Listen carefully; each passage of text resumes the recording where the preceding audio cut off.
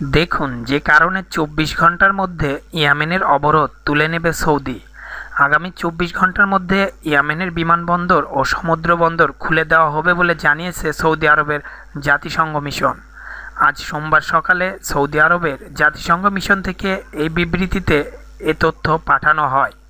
বিবৃতিতে বলা হয়, আগামী চব্বিশ ঘণ্টার মধ্যে বিমানবন্দর ও সমুদ্র বন্দর খুলে দেওয়ার প্রক্রিয়া শুরু করা হবে। ফক্স নিউজের এক প্রতিবেদনে বলা হয়, চার নভেম্বর ইয়েমেন থেকে সৌদি আরবের রাজধানী কিং খালিদ বিমানবন্দরকে লক্ষ্য করে ক্ষেপণাস্ত্র নিক্ষেপ করে হুত্তি বিদ্রোহীরা।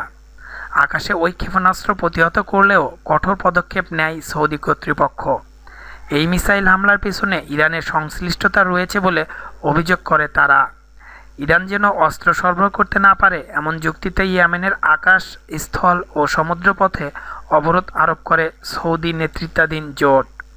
বিবৃতিতে বলা হয়, এডেন মোচা ও মুকালা বন্দর খোলা হবে আগে। অবরোধের কারণে সীমান্তে আটকে ছিল অনেক ত্রাণ।